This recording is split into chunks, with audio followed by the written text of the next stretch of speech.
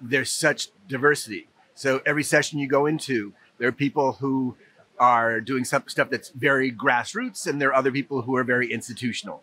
And at other conferences, that's not really true. At, at the conferences I go to, it's typically very institutional. So it's nice to have that diversity of background, diversity of, of thought.